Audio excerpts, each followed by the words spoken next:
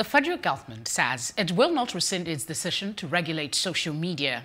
The Minister of Information and Culture, Lai Mohammed, said this on Thursday during a courtesy call on him by the Guild of Corporate Online Publishers in Abuja. Mohammed said the intense debate that has been generated by the announcement of the regulation is a welcome development. He allayed the fear of stifling free speech or muzzling the media.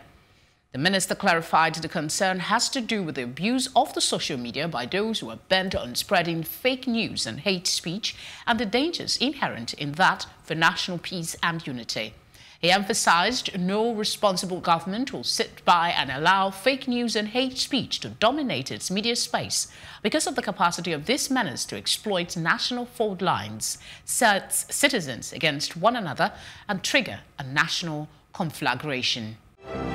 Música